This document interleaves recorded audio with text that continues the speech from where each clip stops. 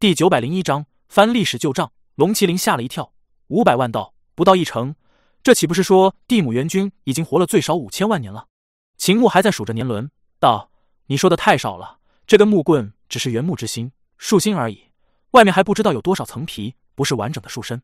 树心能有它真正的年轮的十分之一，便算是不错了。”叶儿也被吓了一跳，这岂不是说地母元君的年龄五亿年起步？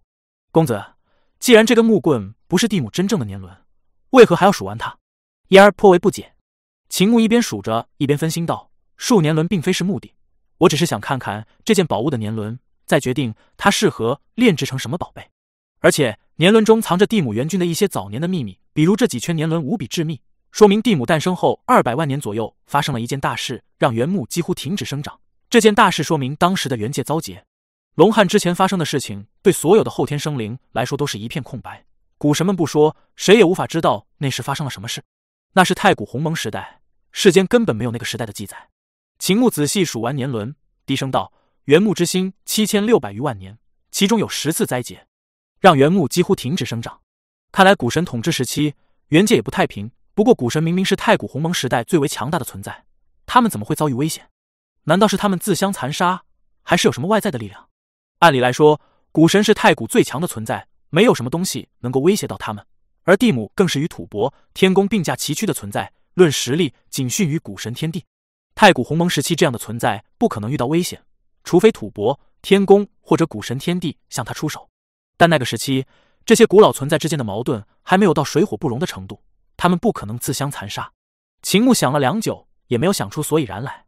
元木之心有着这么多年轮，将它练成我的神兵，祭炼到操控如意的境地，只怕困难重重。或许可以在每一重年轮上烙印上符文印记，一重年轮，一重阵法。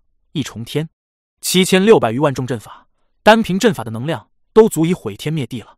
秦牧充满斗志，然而随即便黑了脸。元木之心的年轮太多，他的知识底蕴根本不足以将所有的年轮中都烙印上阵法。他的知识储备没有深厚到这种程度，可否当成大枪来使？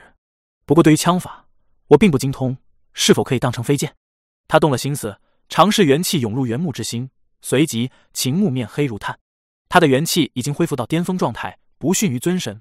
然而，如此庞大的法力涌入这根元木之心中，却仿佛泥牛入海，根本填不满。地母元君的确给了他一件了不起的宝物，甚至说不定帝座境界的存在都无法炼出这样的宝物。然而，他无法催动元木之心多少威能。秦木继续催动元气，总算让这根元木之心飞了起来。然而，这根木棍太长，他挽了几个剑花，立刻发现自己没有了法力。难怪地母跑得这么快。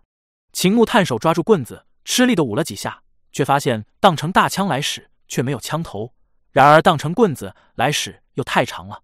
倘若能够短一些，他刚刚想到这里，原木之心立刻缩短了许多。秦牧怔了怔，道：“再短一些。”原木之心又缩短一些。秦牧道：“再短一些。”原木之心缩成三尺长短。秦牧抄在手中，当成木剑，顿时顺手许多，不由欣喜道：“长！”噗！他手中的原木之心突然暴涨，化作一根长棍。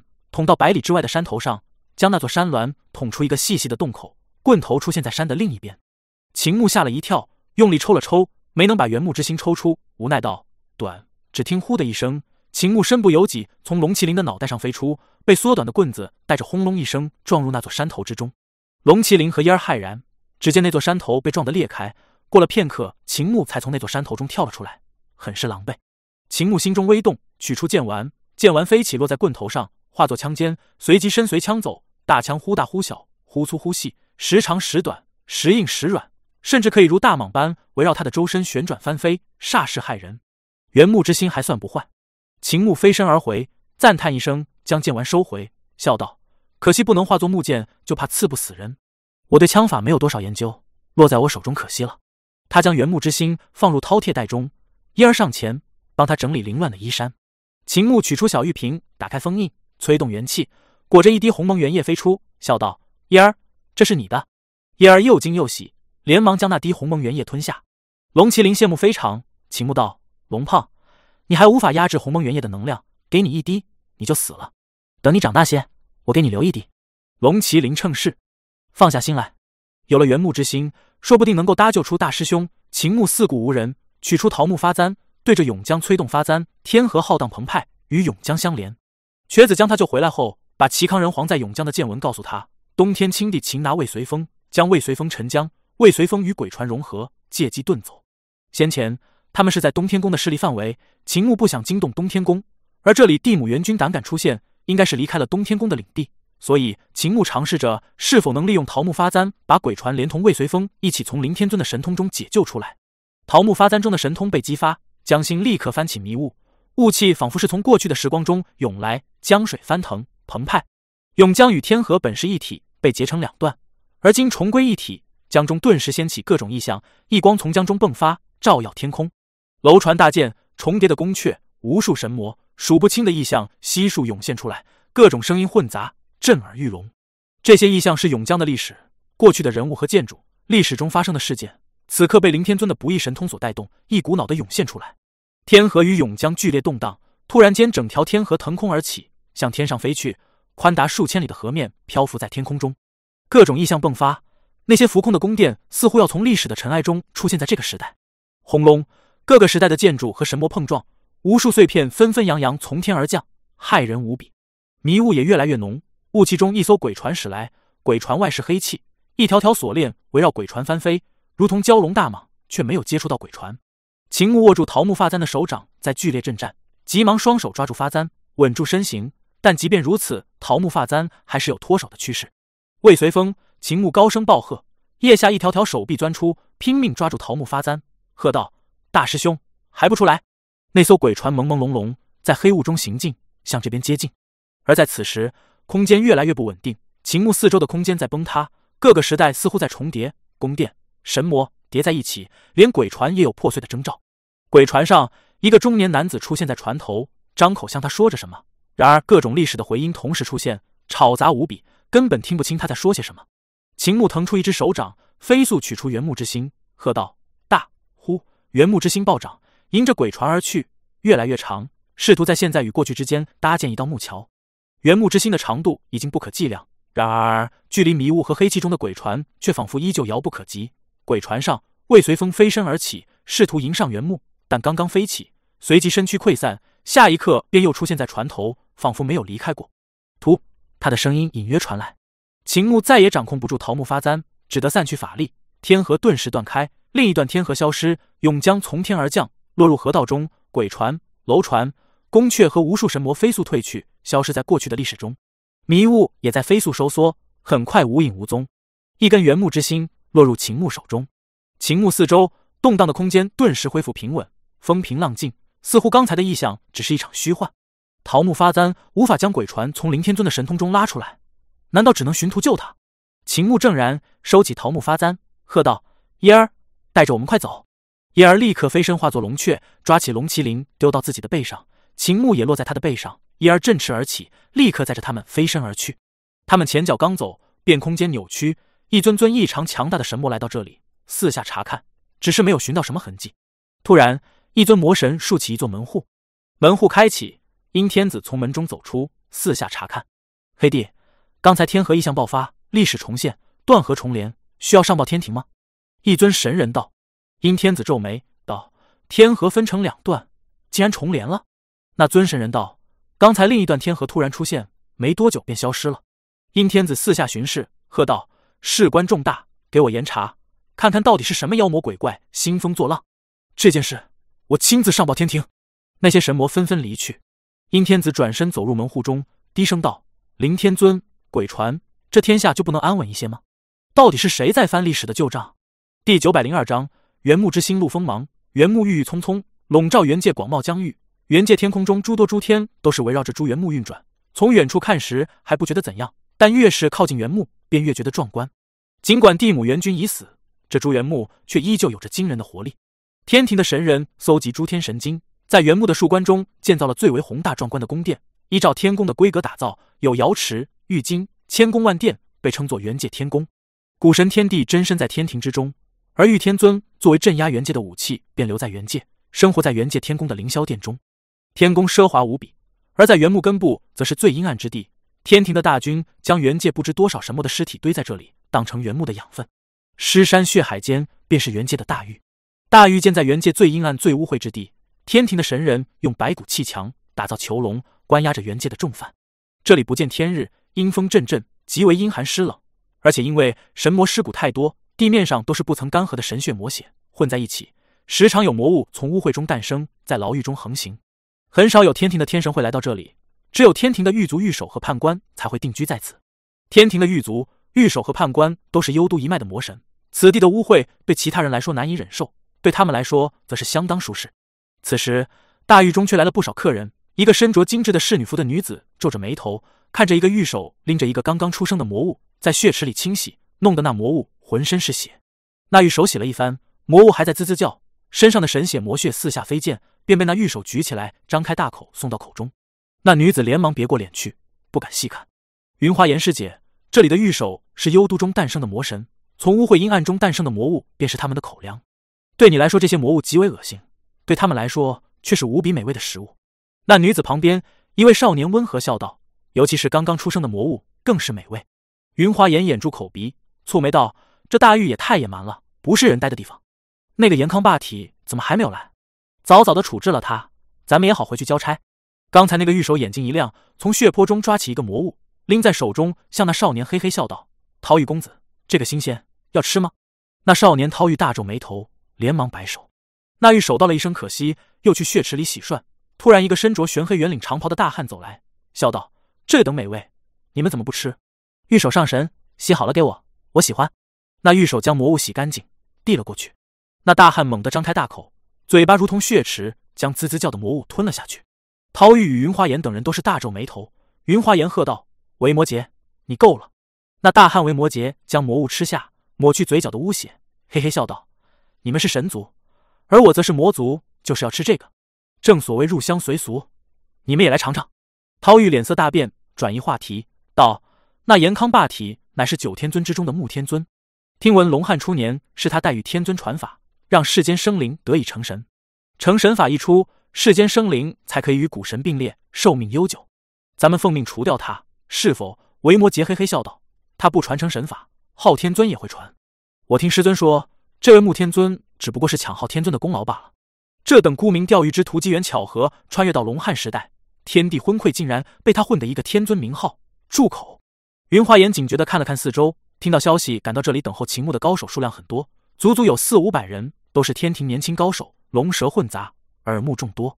这些年轻高手都是天庭各大天宫的年轻弟子，天庭讨伐元界，他们也奉命参军，进入元界厮杀历练，成就军功，将来才有升迁的希望。飞翼天帝，你不要命了！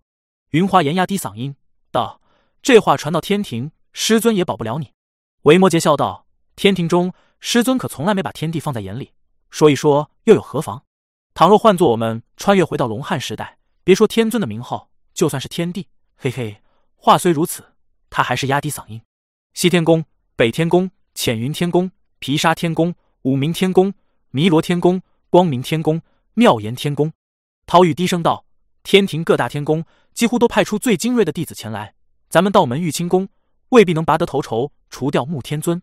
穆天尊浪得虚名，传闻已经半死不活，没了魂魄，谁先动手，谁便能拔得头筹。我们动手晚一步，连汤水都喝不到。维摩诘道：“以我之见，咱们应该去大狱外守株待兔，等那穆天尊前来，把功劳弄到手。”涛玉迟疑一下，道：“我刚才看到已经有不少来自各大天宫的强者去了外面，显然是抱有同样打算。”咱们现在赶过去，恐怕穆天尊也早就被人杀了。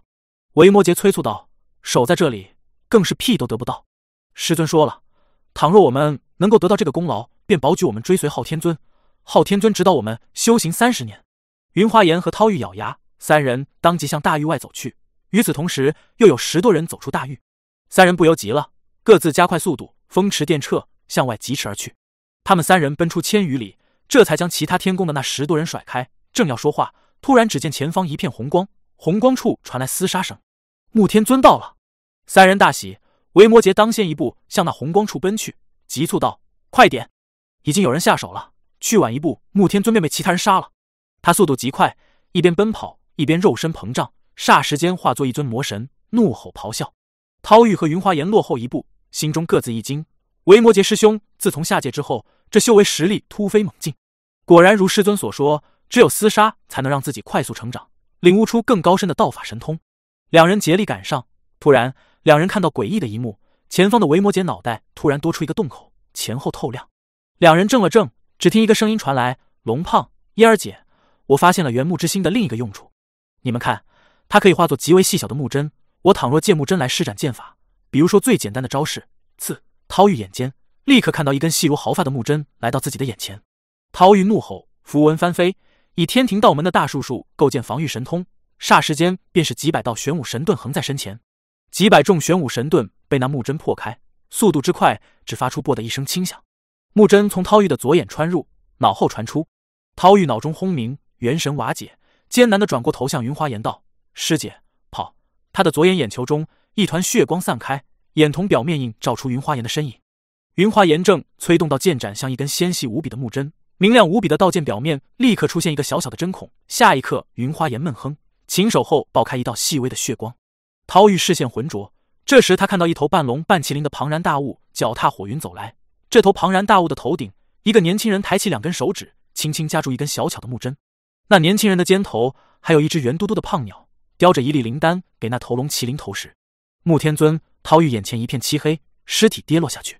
龙麒麟不紧不慢地向大玉方向走去，皱着眉头看着下方。只见魔血神血化作一道道河流，污秽不堪。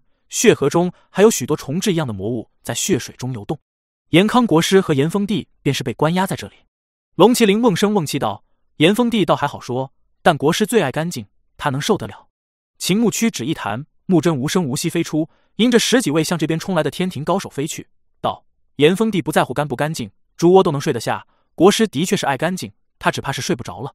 木针飞回，龙麒麟继续前行，身边一具具尸体手舞足蹈的从空中坠落下去，跌入血河中。血河像是翻了锅一般，不知多少头魔怪兴风作浪，在河中争夺尸体，打得不可开交。这原木之心，倘若能够化作木剑，那就太强大了。秦牧叹了口气，突然将木针握住，道：“长木针还是那么细。”然而却在刹那间长到百里长短，如同一道微不可察的细线，直达百里之外。秦牧紧握百里细线，施展出一招剑法。百里外的几位天庭年轻高手还不知怎么回事，便突然四分五裂。即便是隔着百里施展剑法，秦牧的剑法依旧无比细腻，让人根本来不及躲避。而且原木之心实在太细，几乎无法察觉。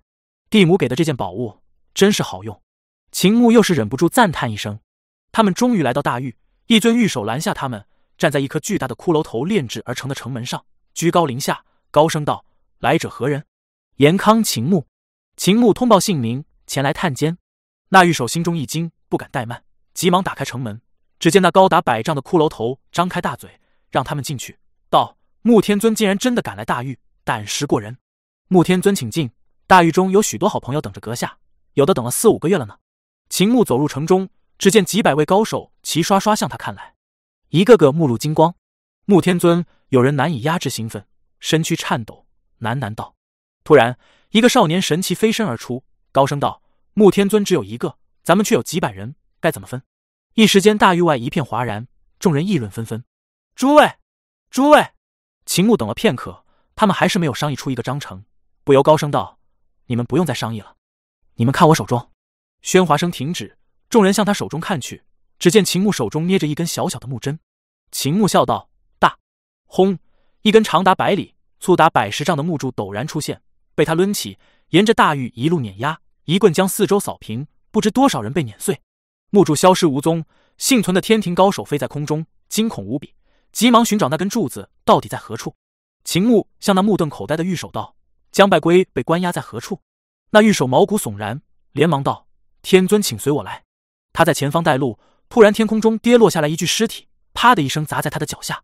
那玉手心中一惊，急忙抬头看去，天空中失落如雨，一个个天庭高手仿佛遇到无形的索命无常，变成一具具尸体从空中坠落。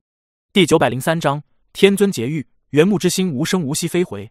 那玉手打算细细观察，却不知原木之心被秦牧藏在何处。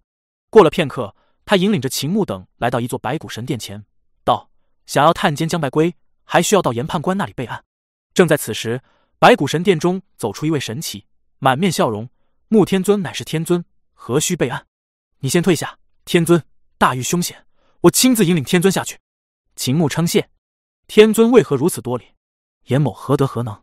那位严判官连忙还礼，笑道：“你是天尊，从古至今只有九位存在能当得起天尊之名，天尊倘若向我见礼，岂不是折杀我了？请秦牧跟上他。只见这位严判官带着他们来到大狱的入口。这大狱是建在原木的根须之下，在其中一条粗大如山的根须上开了个洞口，用原木雕琢出门户，有重兵把守，防御森严。走入门户后，只见一条木头阶梯蜿蜒向下而去，两旁有神魔骨骼挂在墙上照明，只是神魔尸骨散发出的神光魔光有些昏暗。严判官怎么称呼？秦牧四下打量，问道：“晚辈严少卿。”严判官笑道：“晚辈在天庭籍籍无名。”穆天尊可能不曾听说过我的名头，秦牧心头一跳，笑道：“天庭左少弼严少卿，精通精神神通，将开皇的名都天王田鼠骗入地缺神刀中，把这位天王困在刀中七八百万年。”严判官惊讶道：“天尊竟然听过我的名头？”秦牧道：“我也被困在地缺神刀中好几年时间，好不容易才逃脱。地缺神刀中，我见过左少弼用来欺骗田鼠天王的美酒，精神神通，左少弼是我所见过强者之中的第一人。”无人能及。龙麒麟道：“我喝过你的酒，还与田鼠拜了把子。”严少卿笑道：“天尊过誉，我称不上第一。天尊称之为精神，我称之为神识。神识神通第一人，其实是赤明时代的赤皇。”秦牧心中微动。赤皇的三元神不灭神识的确已经传给了他，但是这门地做功法中的神通，赤皇并未传授给他。赤皇毕竟是上古初期的人物，他的不灭神识侧重于修炼三元神。壮大自身的元神，对于神识神通的开发，则远不如严少卿这等后起之秀。神识神通，严少卿可谓是天庭最顶尖的存在。严少卿与田鼠的官职一样，一个是域外天庭的左少弼，一个是开皇天庭的左少弼。田鼠强于幽都神通，在幽都魔道上的天分和造诣都是极高，与阴天子不相上下。而严少卿强于神识神通，他能够不费吹灰之力便暗算田鼠，田鼠也称他为老对头。可见他的实力只怕极高，曾经与田鼠斗过不止一次。他们两人应该修炼的都是幽都的大道体系，只是修炼的方向不同。天庭一直缺少一门帝座级别的神识功法，可惜赤皇已经死了四十万年，他的三元神不灭神识失传。严少卿道：“天庭寄希望于我，期望我能开创出神识地座功法，然而我却屡屡辜负天庭的厚望，于是这次便被发落下来做了大狱的判官。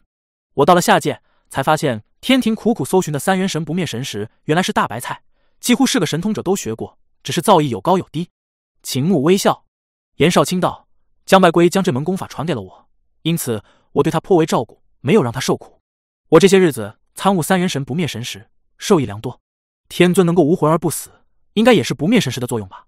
秦牧笑道：“这门功法是我传出去的，我自然懂得。”严少卿哈哈笑道：“那么我便不必班门弄斧了。”他的言语中有警告的意思，警告秦牧不要在他面前班门弄斧。他们已经深入地下，地底愈发阴暗潮湿，这里很是腥臭。有血河从外界流下来，沿着河道蜿蜒向前，流过一个个囚笼。原木根须错综复杂，一条条根须结成囚笼，将犯人镇压在囚笼中。较细的根须如同锁链，锁住一尊尊神魔，把他们的肉身元神洞穿。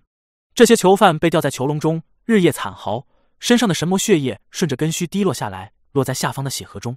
这血河污秽污浊，里面诞生了许多魔物，像是大虫豸，多手多脚，千奇百怪，趴在那些囚犯身上吸食血液。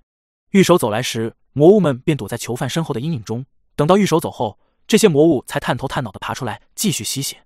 大狱中的玉手来回巡视，防御森严。秦牧细细观察，原木的根须无比坚硬，这原木是地母元君的本体，这等古神的肉身坚硬程度，简直堪比地座神兵，须得用地缺神刀这等宝物才能砍断。而且原木根须表面的符文也是地母元君本体的大道符文，因此想要从这里逃出去几乎没有任何可能。被镇压在这里的不乏有玉京、凌霄境界的存在，是地母麾下各族的领袖，统治元界各大诸天的存在，但现在也变成阶下囚。对于他们，玉手颇为照顾，用大盆接他们身上留下的神血魔血，接满一盆便小心翼翼地送到外面。他们身上的血很有用，是最好的颜料。严少卿在前方引路，道：“建造神城。”在城墙上烙印符文，稳固城墙，可以用一般的神魔之血。只有统治者的宫殿才有资格用到这等凌霄玉晶境界强者的宝血。不同种族血液颜色不同，用这等强者的宝血作为颜料绘画，壁画会永不褪色，永远新鲜，因此很是抢手。还有些天庭上神喜欢饮血，然而又不喜欢喝普通的血，因此也需要我大玉供应。秦牧眯了眯眼睛，大玉的御守门中还有精通医术的神奇，正在给这些囚犯治疗伤势，让他们不至于死掉。从而能源源不断产生颜料。严少卿，老子要弄死你！一尊麒麟手人身的囚犯怒吼连连，厉声道：“倘若老子脱困，一定要将你碎尸万段！”严少卿哈哈大笑，眉心中突然有一只眼睛张开，眼中飞出一朵莲花，没入那麒麟族的领袖脑海之中。那麒麟族领袖顿时浑浑噩噩，脸上浮现出温柔之色，不再吵闹。神识神通可以让他永远的沉醉在温柔乡中，醉生梦死。严少卿向秦牧解释道：“我用神通在他的意识中塑造了一个真实的幻想世界，他在里面要什么有什么，永远也走不出来。他甚至可以在我给他制造的幻想世界中，通过努力奋斗，经过打拼，成为天地，获得莫大快乐。这样也可以减少他的伤痛，让他快乐的生产颜料。”龙麒麟连打几个冷战。那个麒麟族领袖他认得，当年在地母地宫中，这个麒麟族领袖指点他修行。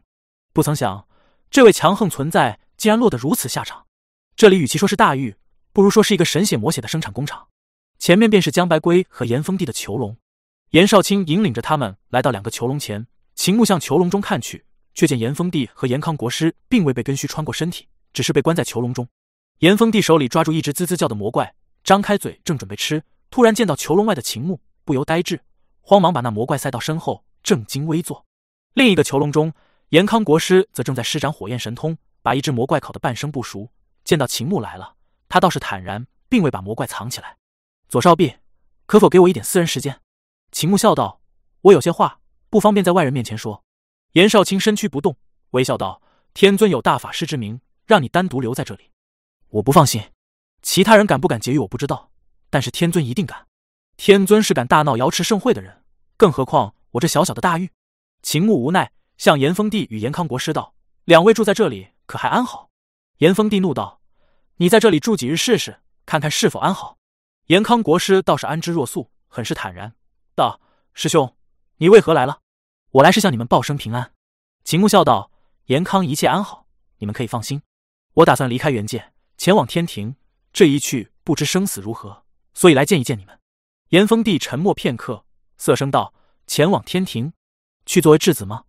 秦牧哈哈大笑：“我是天尊，前往天庭怎么会给他们做质子？陛下说笑了，我去天庭探望老友。”严康国师目光闪动，道：“师兄前往天庭的确是个好主意，置之死地而后生，算是唯一一条生路了。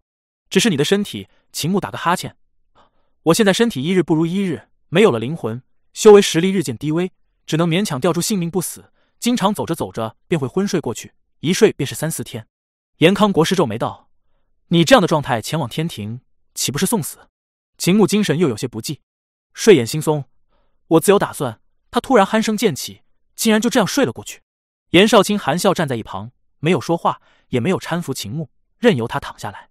龙麒麟和嫣儿似乎对此司空见惯，没有半点惊讶。严峰帝哽咽落泪道：“秦教主真是不行了。”严少卿等了三四日之久。秦牧终于悠悠转醒，失声道：“我又睡过去了。我睡了几日？”严少卿道：“天尊睡了三日零五个时辰。”秦牧歉然：“我竟然睡了这么久，耽误左少弼的事情也罢。探监就到此为止，我该走了。陛下，师弟告辞了。”严峰帝与严康国师起身与他拜别。严少卿送秦牧离开大狱，大狱的木门关闭，将地底牢狱封锁。严少卿细致入微的检查一下门上的符文锁，这才放心。他又将秦牧送出白骨城。秦牧转身道：“左少弼留步，不必再送了。”严少卿躬身道：“恭送天尊。”他目送秦牧坐在龙麒麟的脑袋上远去，消失在视野之外，这才回到判官神殿，打开公务册子，提笔打算写下秦牧前来探监一事。突然微微一怔，严少卿脸色微变，放下笔，急速翻开册子，只见其他书页一片空白。严少卿额头冒出冷汗，这公务册子上应该有他的字迹，记载着大狱的大大小小的事情。而今他亲笔写下的字竟然悉数消失不见。穆天尊，我神识神通已经达到绝顶，更是得到三元神不灭神识，距离帝座只有半步。你敢在我面前班门弄斧？严少卿眉心中神识爆发，厉声道：“给我破！”他的神识神通波动，冲击四面八方。下一刻，天地陡变，世界仿佛褪了颜色，从多姿多彩变成黑白二色。接着，黑白二色褪去，严少卿发现自己并非是在判官神殿中。而是依旧站在大狱深处，严康国师和严峰帝的牢笼前。第九百零四章，假作真实真亦假。严少卿四下看去，心中凛然。只见不远处的玉手正在搬运神魔宝血，换了一个大木盆。旁边的血河中有魔怪从污血中滋生，正在向外爬，偷偷的爬到一个囚犯的身上吸血。严少卿收回目光，秦牧就在自己身边，正在与严康国师和严峰帝说话，笑容满面，似乎什么也没有发生过。龙麒麟则在秦牧脚边匍匐，正在呼呼大睡，他的头上还站着一个圆嘟嘟的胖青雀，百无聊赖的理着羽毛。严少卿眯了眯眼睛，冷冷道：“天尊，探监时间到了，天尊该离开了。”秦牧道：“陛下，师弟，你们安稳的住在这里，将来会有离开之日。我先走了，保重。”严峰帝和严康国师作别，秦牧还礼，严少卿一路跟在他的身后，严防死守，免得他再动什么手脚。到了玉门外，严少卿再度检查木门上的符文锁，更加细致，没有看出什么异样。他顾不得送秦牧出城，立刻飞身来到判官神殿，翻看公务册子，上面的字迹都在，这才松了口气，前去送秦牧出城。到了城外，秦牧转身笑道：“左少弼留步，不必再送了。”严少卿躬身道：“恭送天尊。”他怔了怔。这次他说的话，竟然与上次被秦牧以神识神通戏弄时说的话一模一样。严少卿额头冒出冷汗，神通爆发，厉声道：“给我破！”世界再度褪去颜色，变成黑白。黑白褪去，真实的世界出现。严少卿张开眼睛，打量四周，额头冷汗津津。只见他依旧站在大狱中，不远处的玉手正在换木盆接血，血河中的魔怪诞生，偷偷的爬到囚笼中的囚犯身上吸血。龙麒麟还在酣睡，叶儿还在理着羽毛。秦牧还在与严康国师严峰帝说话，严少卿额头出现豆大的汗珠，声音沙哑道：“江百归，你传给我的三元神不灭神石是否藏着漏洞？”囚笼中，严康国师转过头来，目光呆滞，眼神空空洞洞，仿佛行尸走肉，嘴巴开合，像是人偶。天庭的神通太陈旧了，漏洞不仅是三元神不灭神石，而且还来自左少弼自身。左少弼，你出生的早，你从前所学的道法神通，在今看来都是错的。比如神藏，另一个囚笼中，严峰帝转过头来，同样是目光呆滞，空空洞洞，嘴巴一开一合。你从前修炼的神藏是灵胎、五曜、陆河、七星、天人、生死、神桥，但严康变法的神藏却大为不同。你已经修炼到凌霄境界，境界固定，你无法改变基础神藏；你境界极高，也无需去改变基础神藏。然而，这就留下了你功法中的破绽。严康国师木木道。赤皇的三元神不灭神石同样也是如此，这门功法也是通过神桥来修炼，对而今的严康功法来说存在着巨大的破绽。严峰帝露出一丝憨厚的笑容：“国师传授给你的三元神不灭神石没有动任何手脚，不过他传授给你的不灭神石是赤皇的不灭神石，并非是天河神藏的不灭神石，基础不牢，地动山摇。我便是从你功法中的破绽入手，功法有破绽，神通便到处都是破绽。你想要破去我的神通也可以，废掉神桥神藏。”开辟天河神藏，重修一遍。两个囚笼中，国师与严峰帝，你一言我一语，将这件事情说明白。严少卿神识爆发，厉声道：“让我自毁修为！我乃是凌霄境界的存在，距离帝座只有半步。我的修为法力胜过你不知凡几，仅凭修为便可以碾压你的一切神通。就算你神通再精妙，也不能困住我。给我破！”轰隆！剧烈的震荡传来，世界再度褪色。严少卿如同从水里捞出来一般。浑身大汗淋漓，只见他还是站在囚笼前，严康国师、严峰帝还在笼中，龙麒麟在沉睡，秦牧在与严峰帝、严康国师说话，似乎时间回流到刚才那一刻，一切都没有变过。给我破！严少卿连连催动神识神通，厉声道：“我倒要看看，是你的神通快，还是我的神通快！”他疯狂催动神通，世界一而再、再而三褪色，新的世界尚未形成，便再度遭到冲击，一时间空间紊乱，褪色中的世界也挂上越来越多的裂痕，终于。严少卿在一瞬间催动千百次神通，超过了这个世界的限制，整个世界支离破碎。严少卿呼呼喘着粗气，看向四周，只见秦牧站在囚笼前，面色骇然，惊恐的看着他。而大狱中不知多少魔怪和狱手都被严少卿的神识神通冲击的昏死过去。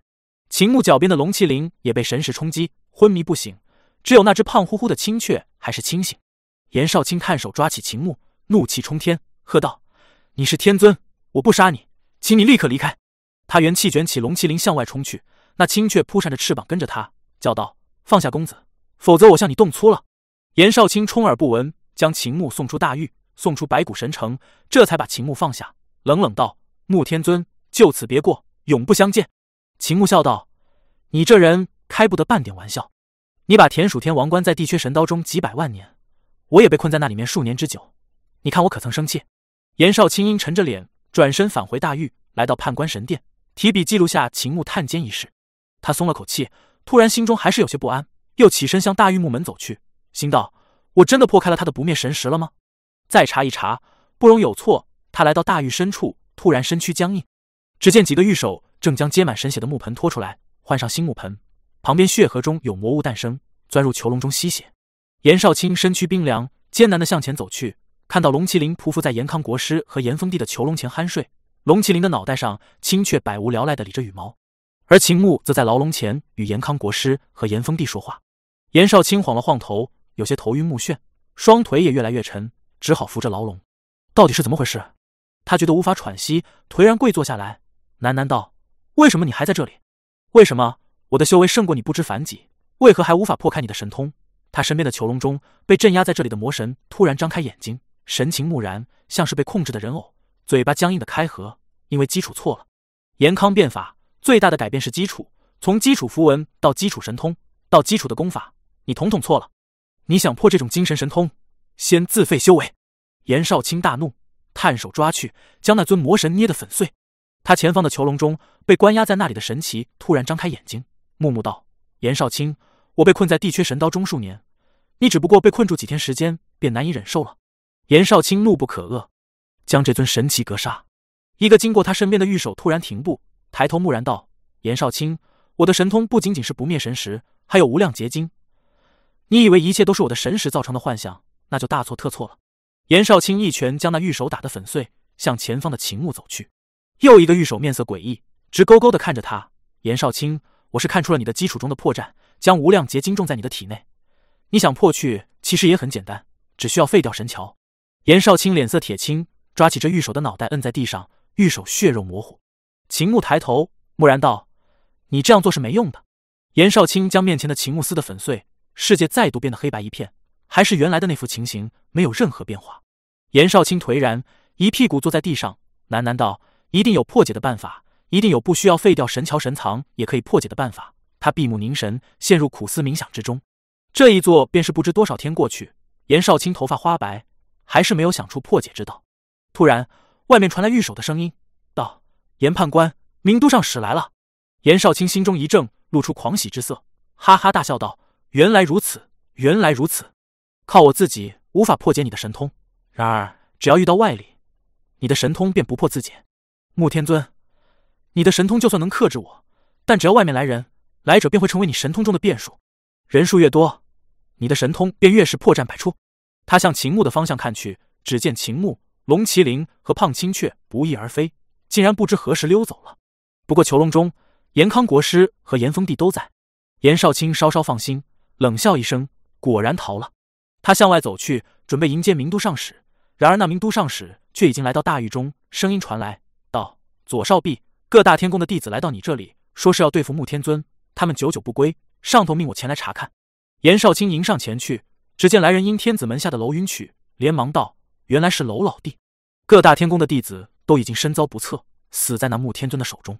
他与楼云曲很是熟络，明都天王田鼠与阴天子是死对头，阴天子亲自下手，打算对付田鼠。”结果被田鼠逃脱，后来田鼠砍了吐蕃之脚，肉身被吐蕃捏着，只剩下元神。阴天子便是请严少卿出手将田鼠骗入地缺神刀之中镇压。楼云区脸色微变，失声道：“各大天宫的弟子都死了。”严少卿点头。楼云曲跺脚道：“这如何交代？各大天宫的弟子死在你这里，你祸事大了。死在这里，还有我几个师弟，是黑帝老师的得意弟子。”严少卿不以为意。天庭一直没有完整的神识地座功法，我不修成地座境界，各大天宫谁敢动我？罗老弟，你此来可曾见到穆天尊？他刚才从这里逃了出去。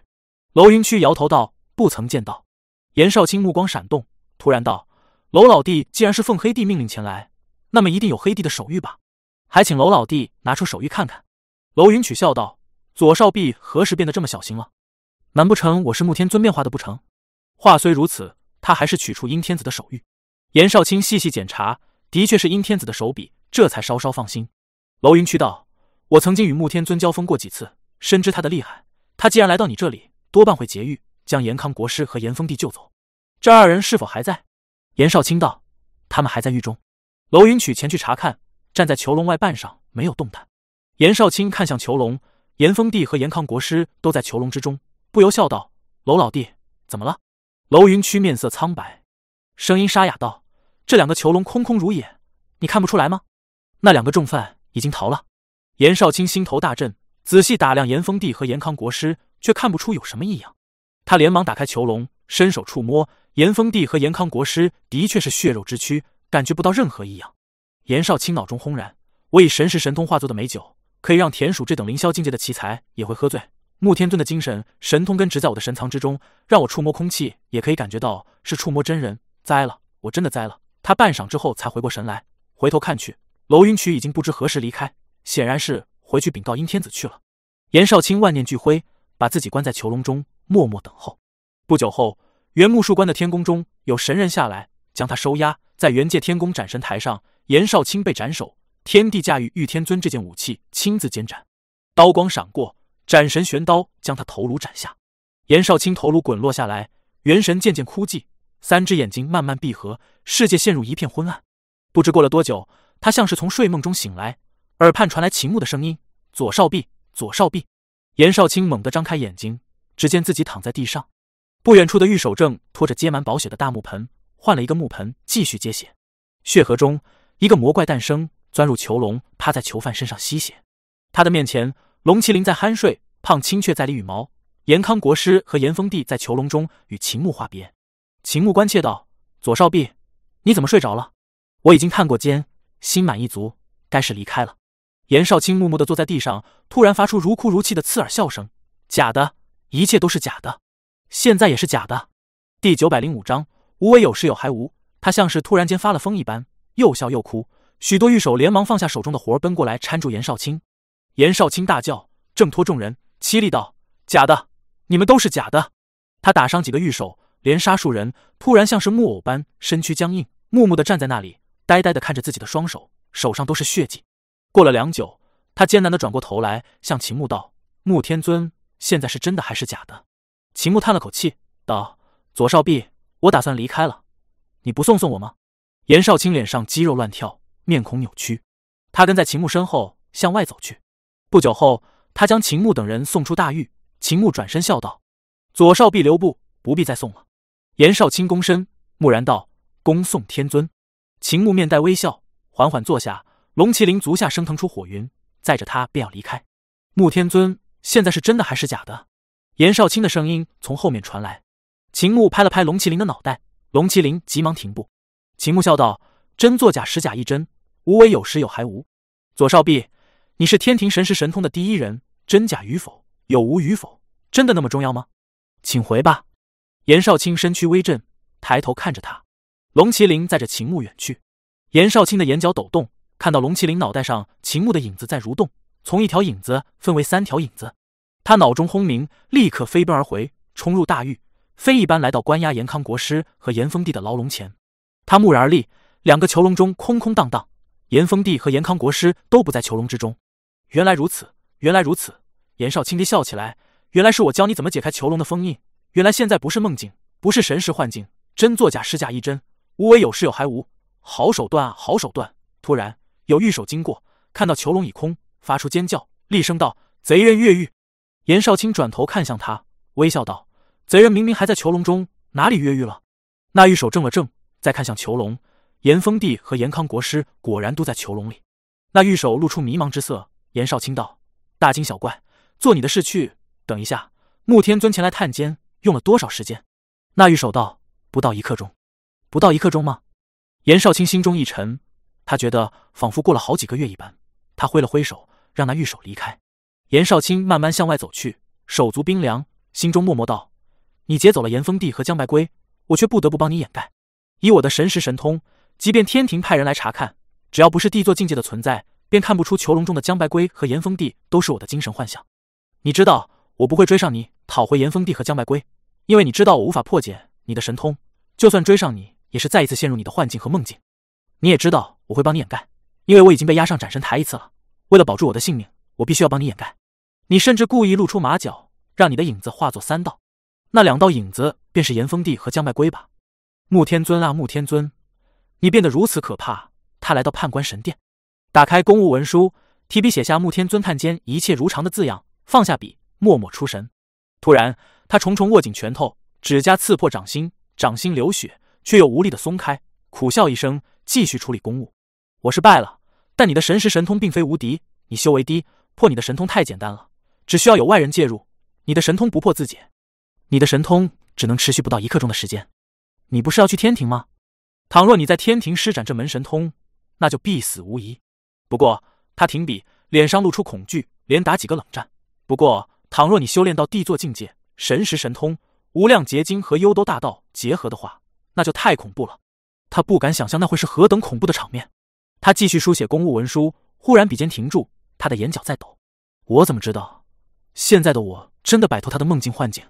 严少卿的瞳孔骤缩，万一现在也是在幻境呢？现在我是在梦中还是在现实？他的眼瞳中流露出绝望。难道真如他所说，我必须要废掉神桥神藏，接受严康变法，才能彻底摆脱他的梦境？倘若那样的话，我与严康的那些反贼有什么区别？他脸上的恐惧越来越浓。秦牧虽然离开了，神通虽然停止了，但神识神通造成的影响，却像是魔性所化的种子，在他心底生根发芽。严少卿知道自己必须要走出去，必须要废掉神桥神藏，接受严康变法。修炼天河神藏，否则自己会永远被困扰着，分不清梦境、现实和幻境。道心上的缺憾让他也不可能修成帝座。然而天庭严令禁止变法，他倘若接受天河神藏，那么他便是变法的逆贼之一。废掉神桥神藏，我的天宫压下来，我会死的。江白龟告诉过我，他开创了一种法门，可以封闭南天门，这样就可以废掉神桥神藏而不必死。他为什么要告诉我这件事？严少卿猛然醒悟，他们师兄弟合起伙来给我下了一个大套。环环相扣的大套，我需要了解一下严康变法，偷偷的了解一下。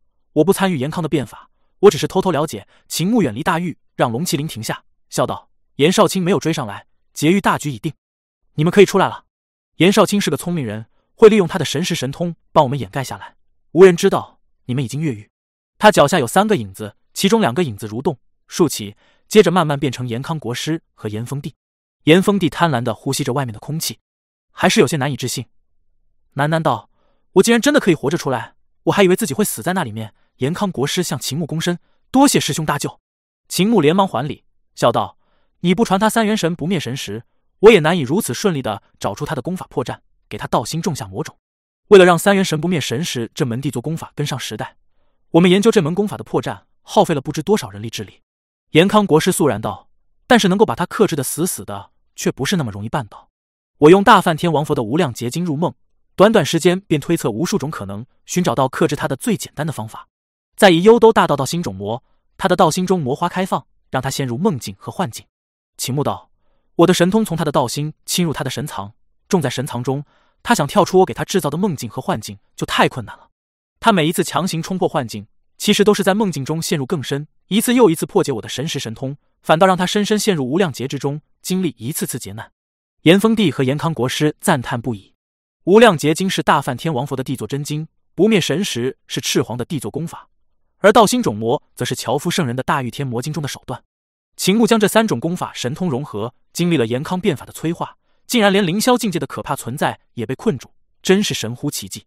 严康国师目光闪动，道：“严少卿说不定将来会是我们的道友，我已经给他指出一条道路，现在就看他是否会来到这条道路上。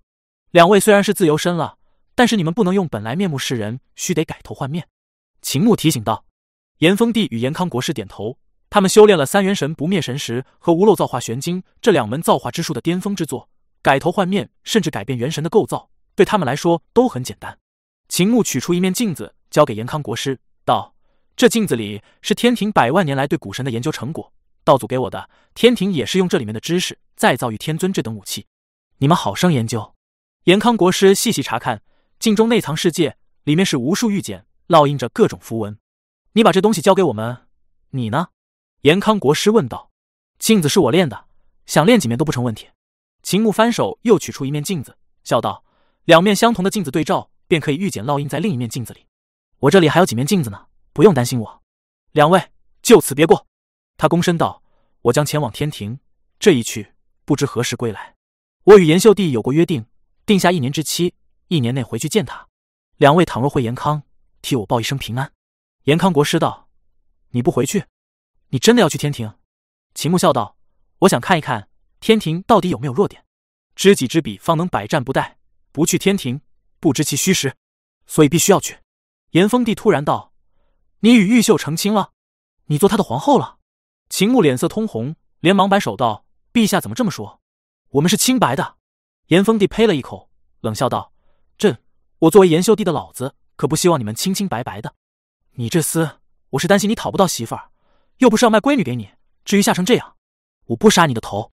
你和国师一样，都是凭实力讨不到媳妇儿。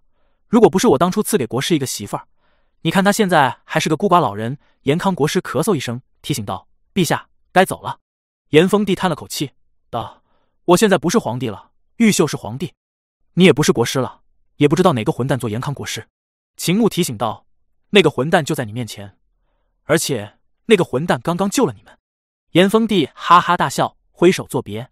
秦牧意气风发，喝道：“龙胖，我们走。”严峰帝和严康国师目送他远去。过了良久，严峰帝改头换面道：“玉秀成为了皇帝，他成为了国师，真是造化弄人。我原本希望他们俩走到一起的。其实，陛下不是早就想过这个未来了吗？”严康国师也变了一副面孔，向东方走去，淡然道：“我们早就有过规划，倘若变法失败，我们身死，需要有人来继承我们的遗志。陛下选择的人正是严秀帝和秦教主啊。”严峰帝跟上他，沉默片刻，：“那时候我是皇帝，没有为玉秀的幸福着想，我只想他继承我们的事业。现在我不是皇帝，而是父亲，却不想让他扛起这个担子，只希望他能够寻到如意郎君，一生平安幸福。”他成为皇帝，与秦牧在一起的可能性便微乎其微了。这小子不可能做他的皇后，而皇帝也不可能出嫁。他们俩，他摇了摇头，没有说下去。严康国师明白他的意思。林玉秀继承皇位，成为延秀帝；秦牧成为新的严康国师，他们俩就再也没有在一起的可能了。林玉秀在继承这个位子的时候，应该便意识到了这个结果，但还是接下了皇位。秦牧在答应成为他的延康国师时，也意识到这个结果，但还是成了他的延康国师。两人在默默中都舍弃了内心中的一些感情，只是彼此都没有说过。第九百零六章稀土虚生花。稀土，一座巨大的城池从秦牧面前狂奔而过。秦牧正然，急忙高声道：“来者是何依依姐姐吗？”那座奔跑的城市放慢脚步，城头上立着几尊神旗，探出头来道：“这是白帝城的座驾，不是什么姐姐。你是何人？”秦牧道：“穆天尊，敢问上苍学宫是否归入白帝门下？”城头上一尊神旗道：“上苍学宫，你是说上苍？那并非是我白帝城的势力，那里有个叫齐九夷的，是赤帝齐虾鱼的徒弟。赤帝便与白帝商议，把稀土分了一半，赤帝又把南土分了一半给白帝。你刚才说你是谁？”穆天尊。秦牧笑道。那城楼上几尊神奇回过神来，面面相觑。秦牧问道：“那么上苍学宫怎么走？”那几尊神奇商议片刻，一尊神奇道：“天尊，请看，那边淡青色的诸天。”便是上苍，天尊来到上苍下，便可以遇到那里的人，问他们便知道上苍学宫的准确方位。秦牧称谢，让龙麒麟赶往上苍诸天的方向，道：“我从前觉得上苍好生神秘，监察大虚和严康的动静，现在才知道，原来上苍不过是元界的诸天万界之一，算不得什么。”龙麒麟道：“教主，从前你只是个小神通者，觉得上苍是个恐怖的庞然大物，现在你是穆天尊，再看上苍也不过如此了。”秦牧笑道：“龙胖越来越有见地了，你也是如此，也成长了。”那几尊神奇目送他们远去，又是面面相觑。一位神奇道：“穆天尊来到元界稀土了，要不要通知白帝城？他是去赤帝的。倘若我白帝城的强者堵截他，岂不是要得罪赤帝？”一位年长的神奇，毕竟老成道：“况且他又是天尊，谁敢动他？由他去便是。”那几位神奇乘势，这座大城又迈开脚步，浓烟滚滚，飞奔而去。秦牧一路上遇到许多这样的陆地飞城，速度极快，都是稀土的神墨用来赶路的代步工具，搬运军队，四处评判，极为方便。这是真天宫的法术，不过真天宫正是来自域外天庭。秦牧低声道：“真天老母便是域外天庭的一尊真神，多半真天老母便是白帝的麾下。稀土因为有上苍和真天宫的缘故，经历的战火并没有严康那般恐怖，这里的百姓还算可以维持生计。”秦牧来到赤帝的领地。发现这里治理的比白帝领地更好一些，稀土百姓安居乐业，似乎与从前并无区别。有些稀土的女孩见到他，竟然还认得他，主动招呼。而今没有上苍学宫了，只有上苍神宗，宗主是原来的上苍学宫大祭酒虚生花。那些女孩告诉他，至于齐九仪，那就更了不起了。上苍神宗的宗主，他是看不上眼。而今住在赤帝行宫里，是稀土的少主，管控着稀土半壁江山的神魔，威风的很哩。龙麒麟兴奋道：“齐九仪是我弟弟。虚生花果然聪明，把上苍学宫改成上苍神宗，变成了宗派。秦牧赞叹，他这种人，把心思用到修炼上，便精勇猛进；心思用在感情上，便至情至圣；用在人情世故上，便是八面玲珑。不逊于我啊！他问清上苍神宗和赤地行宫方位，向那些女孩告辞，动身前往上苍神宗。上苍神宗就是原来的上苍学宫，在赤地行宫旁边。赤地行宫是建立在天上，而上苍神宗则是建立在真天宫附近。不多日，龙麒麟来到上苍神宗，立刻抛下秦牧，奔向天上的赤地行宫，叫道：“教主，我去看望我的把兄弟，当心惹怒了七九爷，把你烤了吃了。”秦牧高声道。龙麒麟叫道：“放心，我与他立过吐蕃之约，不求同日生，但求同日死。燕儿姐，你来不来？”燕儿立刻飞了过去，道：“公子，我去看着龙胖，免得他真被人吃了。”秦牧摇了摇头，来到走入上苍神宗。虚生花闻讯，立刻迎来，笑道：“教主，几年不见了，你清瘦许多。严康是否还好？”秦牧道：“一言难尽。我是来看你和稀土是否挺过来。见到稀土百姓还算安全，你也无恙，我便放心了。这次是多亏齐九姨，倘若没有他这层关系，稀土必遭大劫。”徐生花道：“虽说稀土有上苍真天宫这层关系，但倘若天庭要灭稀土，根本不会在乎这层关系。”齐九仪是赤帝的弟子，正是有他出面，这才保住了稀土。秦牧听到“赤帝七侠鱼”这几个字，不由陷入沉默。天庭围剿他时，七侠鱼也在其中，四弟一起出手，将他逼到绝境，迫使他不得不与哥哥分别。他割舍魂魄所要忍受的痛苦，他从来没有对人说过，但是那种滋味比刀子刮骨还要疼痛百倍。但最让他感觉到痛的是，割舍了灵魂，他便与哥哥秦凤卿分别，甚至不再是兄弟，不再是秦汉真和真王妃的儿子。他只是一具行尸走肉，这里面有这位赤帝七虾鱼的功劳。徐生花不知道他的遭遇，也不知他承受的苦难是何等之重，何等可怕。稀土的人们也不知道严康承受了多么大的苦痛。这场浩劫，严康人口从几十亿人跌落到几亿人口，有的死在逃难途中，有的被天神抓去当成口粮，有的被妖魔鬼怪祸害，更多的人被抓去成为了奴隶。十不存一是延康民众的现状，一个无比昌盛的国度就此险些灭亡。而这是延康的神通者和神奇们拼死反抗、拼死救护的结果。倘若不反抗、不救护，延康人死的更多。就算是活下来的人，也只会成为被圈养的牲口，只有做奴隶或者被吃掉这一个下场。这也是秦牧无论如何都要在延康京城露面，顶撞东天青帝，顶撞古神天帝的原因。他必须要打出自己穆天尊的名号，否则迎接严康的不只是灭顶之灾。我来见你，是因为我要离开原界，前往天庭，为严康寻找一条生路。秦牧笑道。你最近些年没有回到严康，道路也断了，消息不通。严康变法的成果，你一直没有接触到。灾变发生前，我正好游历各大学院学宫，将变法成果学会。我这一去，不知能否生还，所以我想先把严康的成果传授给你。虚生花怔了怔，微笑道：“天庭吗？我随你前去。”秦牧心中感动，摇头道：“你不能去。严康变法不能断绝，倘若我死在天庭，还有你延续变法。你的霸体虽然是个雌的。”比我逊色了那么一点点儿，但严康有你的话，不至于让我们的智慧断绝传承。虚生花还待在说，秦牧长揖道地道友啊，拜托了。虚生花连忙搀他起身，道：“我不去便是，你自己当心。”秦牧露出笑容：“我会小心的。”虚兄，还记得当年你我之间的赌约吗？谁先解决开辟第七神藏这个难题，谁便是雄的。虚生花微笑道：“巧了，你走之后没多久。”我参悟出开辟多种第七神藏的办法，最终我选择了最优的那个。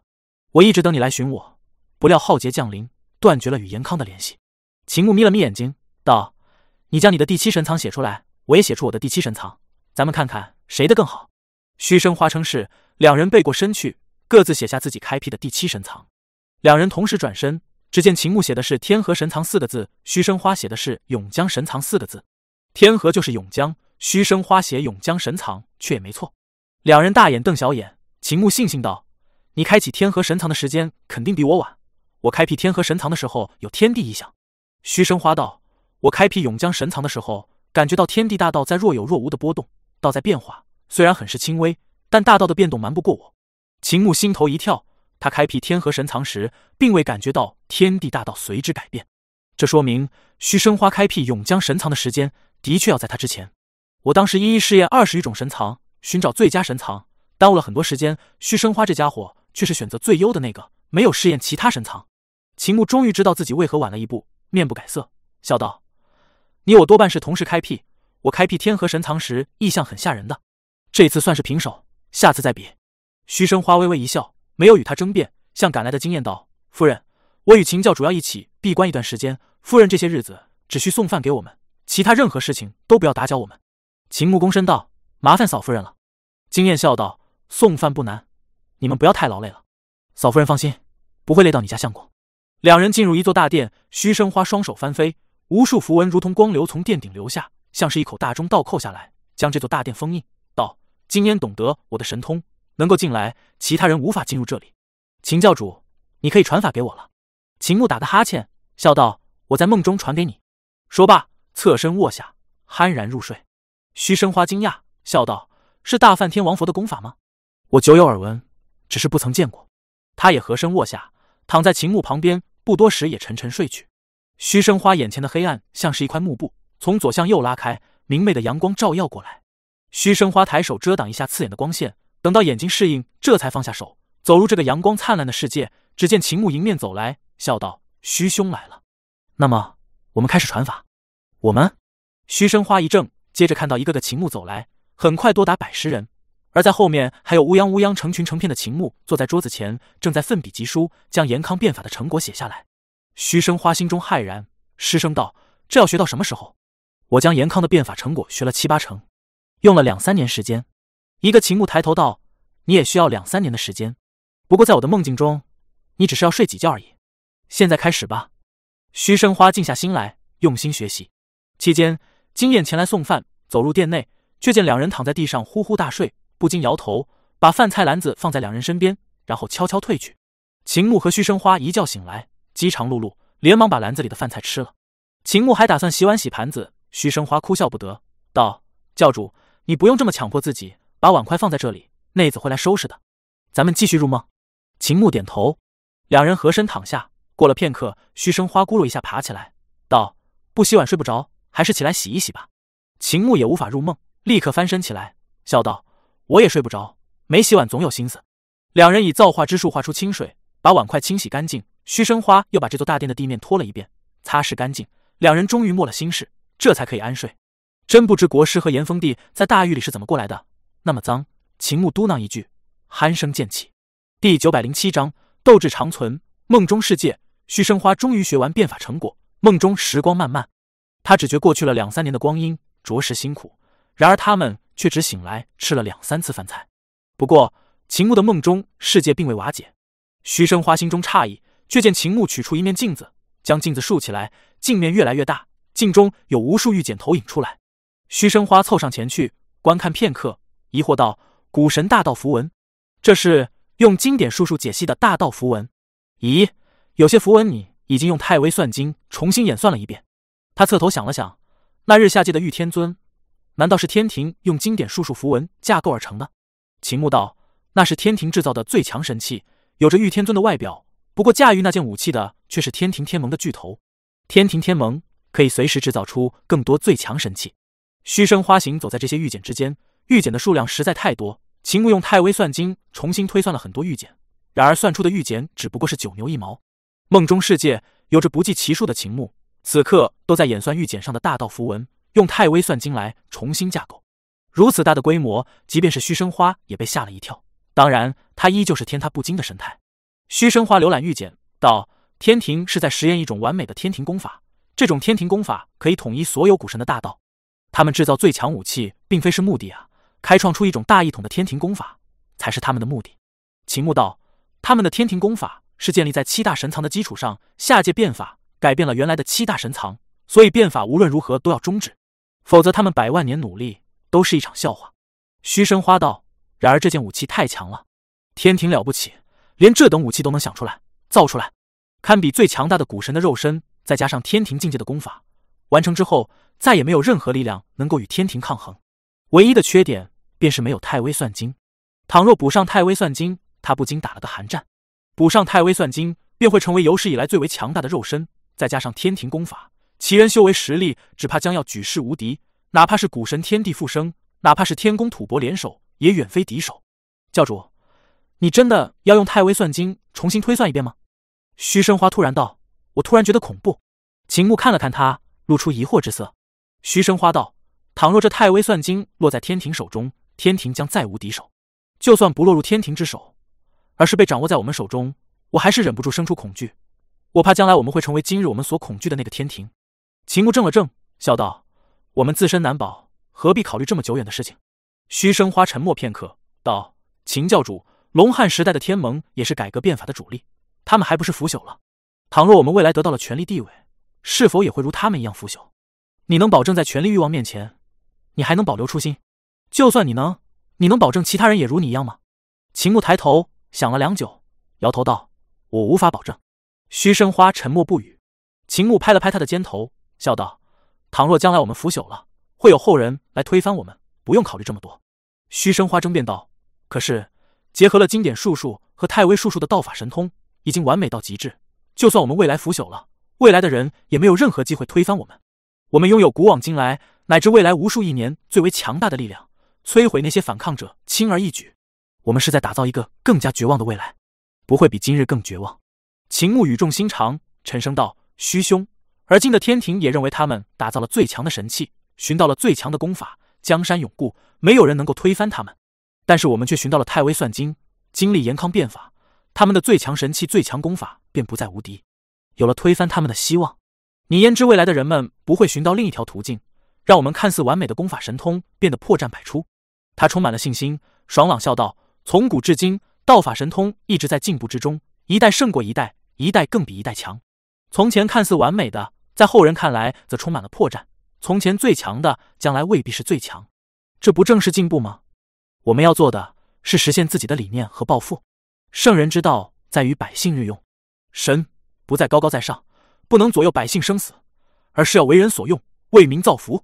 秦牧握紧拳头，我深信将来有一天，神会为百姓服务做事。倘若神不这么做，会有变法者推翻他们。虚修，我的道友挚友，倘若我们真的腐朽了，肯定会有人推翻我们。虚生花冷静下来，仔细想了想，觉得他的话大有道理，道：“不知道为何你在身边时，我总充满了干劲，对未来也有了希望，不再悲观。”秦教主，你太善于蛊惑人心。秦牧笑道：“不正是因为我们志趣相投，才互称道友的吗？你偶尔有些迷茫，我只是助你走出迷茫而已。”虚生花怔了怔，哈哈大笑起来。他一向面不改色，今日出奇的开怀大笑，倒是难得。秦牧将自己的参悟传授给他。道严峰帝和国师也在研究古神大道符文，凌轩道主在这方面走得更远，他们或许都会前来寻你。虚生花轻轻点头。秦牧又将玉天尊开辟灵胎神藏星河神藏的事情说了一遍，也将自己灵胎开天辟地诞生魂魄一事告诉了他。虚生花既是佩服，又有些担心。秦牧将严康变法的成果、古神大道符文，甚至玉天尊和他自己的神藏，统统交代一遍，巨细无漏，倒像是交代自己的身后事一般。虚生花学得更加认真。尽管秦牧再造魂魄的办法，他学会了也无法修炼，对他来说根本没用，但他还是认真学习。秦牧还想将大梵天王佛的无量结晶传授给他，然而无量结晶这门地作功法极为特殊，大梵天王佛传给他时根本没有教他经文，秦牧只是睡了一觉便自然而然的会施展这门功法，让他传给虚生花，他却无法传授。秦牧只得作罢，散去梦境。两人走出大殿，外面才过了六天时间。天庭此行实在凶险。而且不知道凶险出自何处，教主这一去，生死未卜。虚生花道，我知道许多人不理解你，以为你狂妄自大、胆大包天、肆意妄为，但我理解你。他们只看到你的风光，以为你喜欢出风头、喜欢惹事，却不知你所要面对的危险有多大，也不知道你付出了多少。你是在拿性命为严康搏一个前程，拼一个未来。秦牧笑道：“去天庭危险是有，但并非没有一点生机，就是因为有那么一丁点的生机。”我才一定要去天庭。倘若不去天庭，严康，甚至所有的生灵，真的是一点生机都没有了。他眼眸清澈，道：“不用为我太担心。我倘若死了，霸体的气运便会转移到你身上。你得了我的气运，便不是雌的，而是真正的霸体了。”虚生花哼了一声。秦牧继续道：“你倘若也失败了，还有新的霸体得到你的气运，继续走下去，将来总会有一个比你和我更聪明、更强大的霸体。”做到我们也做不到的事情，留步吧，道友。虚生花胸腔中有一种豪情在激荡涌动，恨不得长啸漫天，让自己壮怀激烈。然而他自幼经受的教育告诉他，不要轻易释放自己的情绪，不要被情绪所左右。他按下这种豪情，停下脚步，没有送秦牧。他怕自己忍不住像秦牧那样充满了不羁的豪情与洒脱。与秦牧相处的越久，便越是容易被他所感染。夫君，他说前往天庭，他知道如何去天庭吗？金燕走来询问道。齐九一知道他是去寻齐九一。虚生花揽住他的腰肢，抬头仰望赤地行宫，慢悠悠道：“秦教主背负的东西比我重多了。我从前没有什么感觉，他这次传法于我。”说他若是死在天庭变法重担，便由我扛起。我这时才感觉他从前背负的东西是何等沉重。金燕靠在他的肩头，柔声道：“秦教主奔走操劳，我没有见到他有闲暇的时候。相比起来，我们比他幸福多了。”是啊，虚生花感慨万千。不过这种幸福日子不知能持续多久。但愿秦教主能够活着归来，他活着归来，我才可以继续轻松。他顿了顿，道：“梦中世界，秦教主称我为道友，我陷入迷茫与困惑。”他指引着我走出迷惑，不过我能感觉到他也有着自己的迷茫和困惑，然而我却无法为他指出一条道路。他视我为道友，我却做不到。金燕静静的看着他，虚生花露出苦笑。曾经我只是上苍来客，醉心于道，我是被他激起了不服输的意志，决心要超过他，所以才参与到严康变法之中。一直以来，我都是在追赶他。倘若没有他的激励，我大概还是上苍中的一个伪神，就算有所成就，也不会太大。正是有他的激励。我才有今日，这一生道友，我愧不敢当。金燕握住他的手，笑道：“夫君认为是秦教主聪明，还是你聪明？”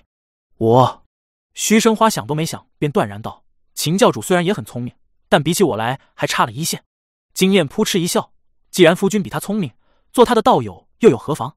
我觉得夫君无论什么地方都不比秦教主差。夫君所欠缺的，仅仅是没有秦教主那样的锐气和锋芒，没有他那种不惧一切。”敢与天斗、永不服输的斗志。虚生花怔了怔，拥他入怀。我这一生最幸运的，不是遇到秦教主，而是遇到了你。赤地行宫，齐九一挥了挥手，让行宫中的南天诸神散去，道：“二哥已经对我说过了，秦教主想去天庭，打算向我借路。也好，我随你们一起去天庭。”秦牧扬了扬眉毛，正要说话，齐九一冷笑道：“我并非是关心你，而是关心二哥的安危。我与二哥结拜为兄弟，立下了吐蕃之约。”他跟着你前往天庭，若是死在天庭，我也跟着死了。他愤懑不平，想起在地缺神刀中喝醉了酒与龙麒麟结拜的事情，便一肚子闷气无处发泄。秦牧瞥了龙麒麟一眼，心道：古怪，龙胖怎么越来越聪明，越来越懂事了？从前他虽然很聪明，但却懒得吓人，现在居然也知道主动为我分忧解难了。难道他瞥了瞥烟儿？只见烟儿正在给龙麒麟投食，很是认真。秦牧露出笑容，道：齐兄。你打算怎么前往天庭？齐九一道：倘若只是神通者的话，直接让神奇送我们突破世界壁垒便可。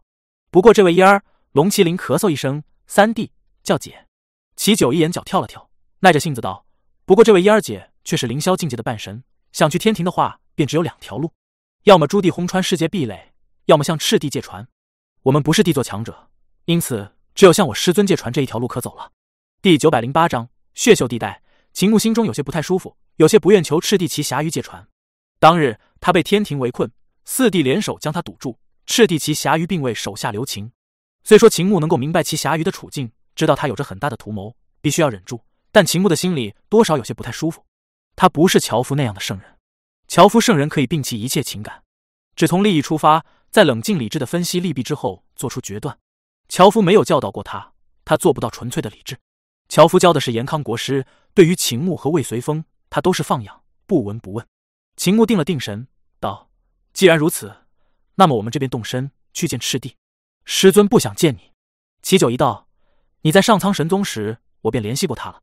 师尊说他不愿见你，但是凤凰船可以借给你用一段时间。不过到了天庭，他便会收回凤凰船。凤凰船应该快到了。”秦牧松了口气。赤帝骑侠鱼多半也是心中有愧，免得相见时彼此都很尴尬。少主，凤凰船到了。有神人走入宫中，躬身道：“齐九一当先一步向外走去。”秦牧跟上他，心中微动，询问道：“齐兄，赤帝还在原界，没有回到南天？”齐九一道：“不曾回去。他老人家说要搜寻一个仇家，去擒拿一个叫做李悠然的贼人。那个叫做李悠然的人无恶不作，而且还有开皇余孽未平，他须得留下搜寻开皇余孽。”说到这里，他才想起秦牧曾经说过他是开皇后人，心中有些歉意。不过看了看秦牧的脸色，似乎秦牧没有什么不快。他与秦牧虽然屡次殊死搏杀，但却是打出来的交情，对秦牧很是钦佩。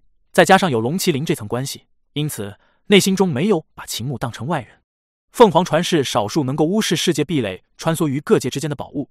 这艘船船体不知用何物打造，船外长着凤凰翅，飞行速度惊人。很多时候，天庭的强者想要下界，都是向赤地奇侠鱼借船。秦牧跟着齐九仪来到船上，只见船上有着数以千计的南天天兵天将操控驾驭此船。这艘船是帝座之宝，速度天下无双，但是催动起来极为耗费法力，因此需要六千多将士才能催动。齐九一下令前往天庭。那六千多位天兵天将催动凤凰船，这艘船横空，慢慢加速。船体两旁一张张华丽无比的凤翅缓缓舒展开来，流光溢彩，让整艘船被光芒裹住。凤翅五光十色，舒展开来之后，慢慢震动羽翼。凤凰船的速度也越来越快。齐九一继续道：“家师的这艘船虽然不是唯一能够穿梭世界壁垒的宝物，但却是最舒服的一个。在船上根本不必担心被空间乱流扰动。凤凰船的速度越来越快，但在船上却极为平稳。”待到这艘船的所有凤翅震动，凤凰船的速度终于达到极致，嗡的一声从原界消失。秦牧站在船头，只见凤凰船破开空间，空间像是一条条绚丽的光带。这艘宝船在光带中行驶，不知速度有多快。凤凰船的速度已经超过他的认知，可见赤地奇侠鱼的确有着非凡的本领。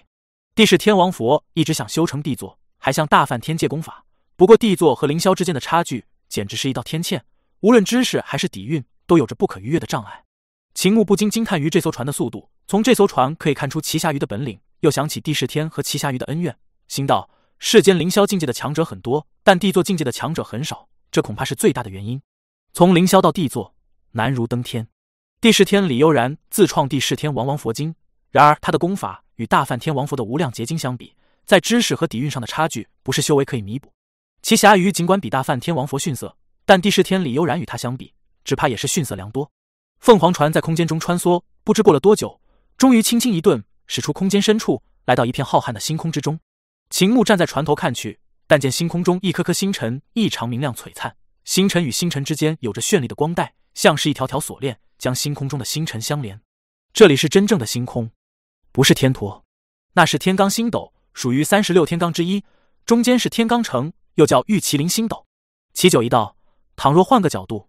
你便可以看到天罡星斗的形态是一尊玉麒麟古神，周天星斗正神中的天罡星君便是诞生自天罡城。龙麒麟激动起来，趴在船头向外张望，道：“那里便是麒麟神族的祖先的诞生地，天罡星君便是诞生在那里。”凤凰船行驶速度极快，很快来到天罡星斗的正面。远远看去，星斗群星星链相连，恰恰组成一头麒麟形态。交织的星链光芒的中心有一座玉制的神城，极为广大。齐九仪迟疑一下，道。麒麟有很多种，天罡星君是玉麒麟，是最为尊贵的麒麟。除此之外，元界大陆中还有水火金木土之精，诞生了五大麒麟古神。至于二哥是否是天罡星君的后代，那就不是我所能知道的了。龙麒麟脸色一黑，他一出生便能驾驭麒麟圣火，显然是属于元界的火麒麟一脉，与天罡星君的血脉无关。凤凰船飞入三十六天罡星斗组成的星斗群落，只见一座座规模宏大的神城处在各个星斗之中，天魁城。天机城、天贤城、天永城、天雄城、天猛城等等，而每个星斗的形态也各不相同。星斗群星的星链形成各种古神形态，形容古朴、凶神恶煞，说不出的狰狞恐怖。星斗的形态也是古神的形态，可想而知，那些古神星郡必然也是这般模样。那些神城是屯兵之地。齐九一道，这次攻打元界，动用的天兵天将多是来自天罡地煞星斗中的各大神城、天庭本部。以及三十六天宫、七十二宝殿的兵力都没有动用过。秦牧心中一紧，仅仅是天罡地煞星斗中的天兵天将，便将元界打得落花流水。天庭的势力之大，让人不可想象。凤凰船又飞临地煞星斗群落，从那里穿过，星空漫漫，长途无尽。突然，他们驶到一个破碎的星空，星空中漂浮着残破的大陆和星辰。凤凰船从这片星空残骸中驶过。秦牧看向齐九仪：“齐兄，这里是何处？为何会有破碎的星空？”齐九一道：“这里是天庭的血秀地带，血秀地带，血秀地带是史前遗迹，很早之前就存在，比龙汉天庭还要早。我听闻是在文明崛起之前。”齐九一道：“具体是怎么来的？我也只听到过几个传闻。其中一个传闻是说，太古鸿蒙时期这里有文明，后来被古神天帝率众铲除了，在那之后便是古神时代，所以被称作史前。凤凰船从一个巨大的星球旁边驶过，那星球极为静谧，慢悠悠的旋转。”从背面旋转到正面的时候，秦牧才看出来这是一颗骷髅头，一颗大的难以置信的骷髅头。在这片血锈地带，类似的巨大头颅还有很多，与残星一起漂浮在星空中，暗淡无光。倘若一不小心，便会撞在上面。凤凰船行驶到这里，速度放慢下来。秦牧站在船边向外张望，一块巨大的陆地从凤凰船上空飘过，陆地上还有着史前文明的遗迹。秦牧抬头看去，陆地上的宫殿宏伟雄奇，有高大的柱子晃过船顶，还有伟岸的神像，神像背后有巨型的圆轮，这种轮像是古神赐福后在脑后形成的光轮。秦牧惊讶，脑后有各种光轮，应该是古神时代的一种传统。他回到龙汉初年时，便见到许多古神半神脑后都有着光轮。最为引人瞩目的便是七天尊。七天尊得到古神赐福，脑后的光轮光晕最多，尤其是玉天尊，所有古神都赐福于他，导致他脑后的光轮重重叠叠，异常复杂。当然，脑后有光晕光轮的，并非全都是天尊，古神还会赐福给自己的子孙后代。龙汉早期。能够赐福的也不只是古神，修为强大的半神也可以赐福。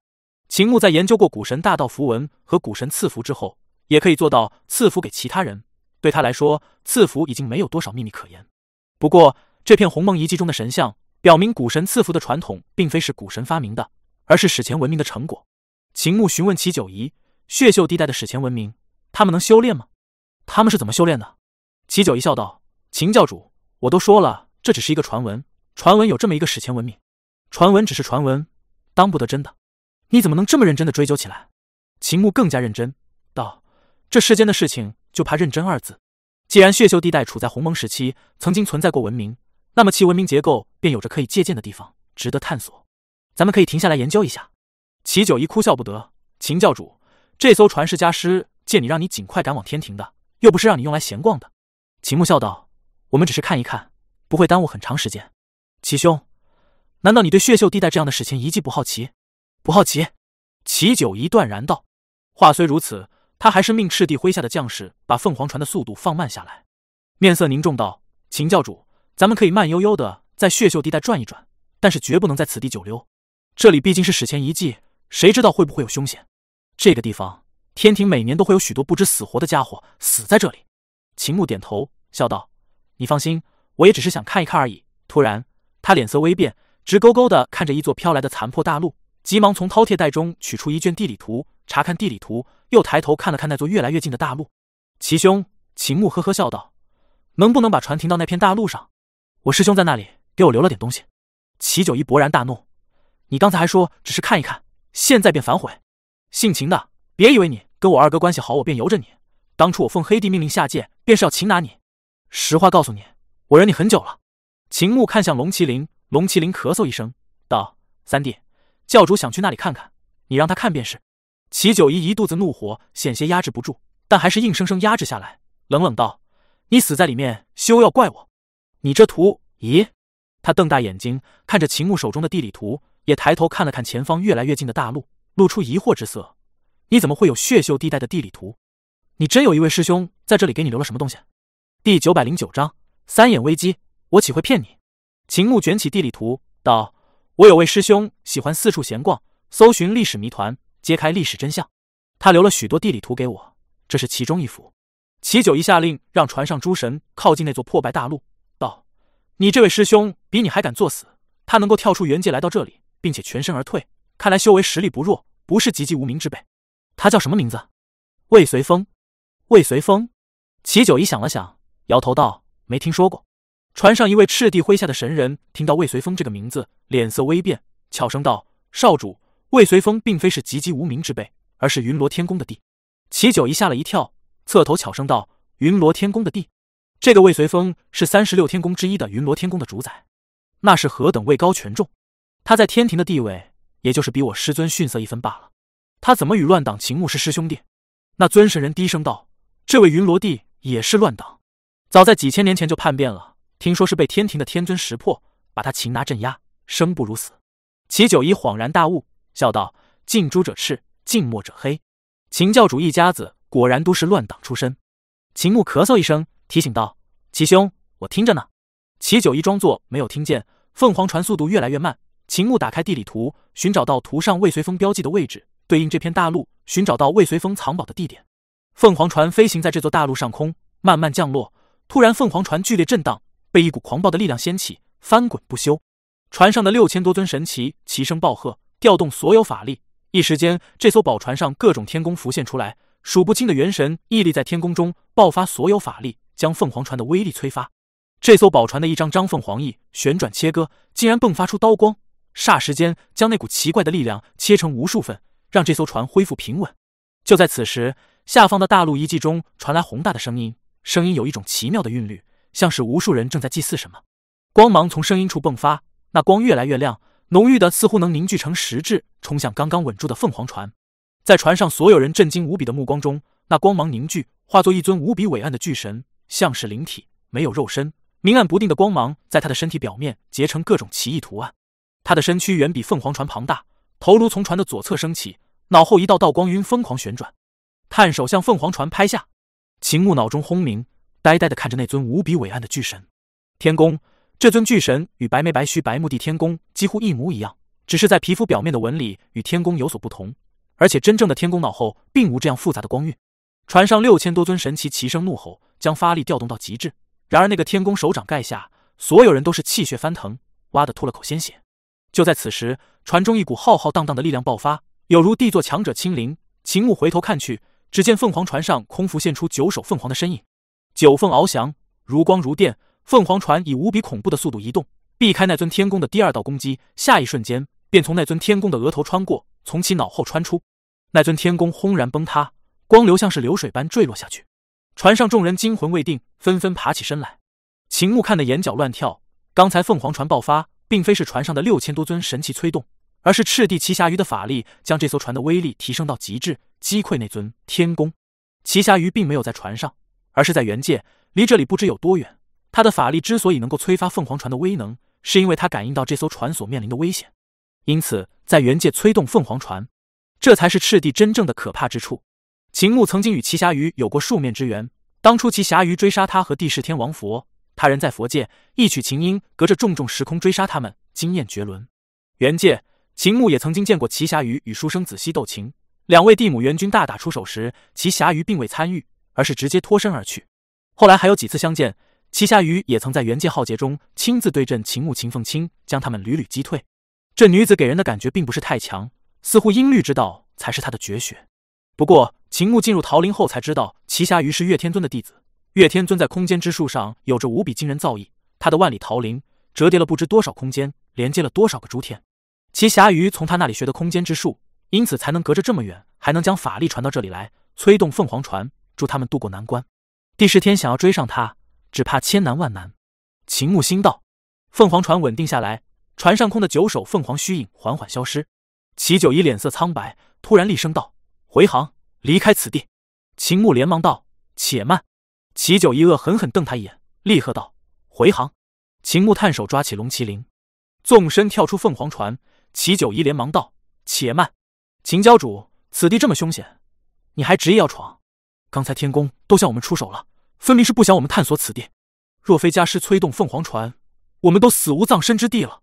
秦牧放下龙麒麟，笑道：“刚才那个并非是天宫，而是这片遗迹中的某种奇特的灵体，与灵胎有些相似的灵体。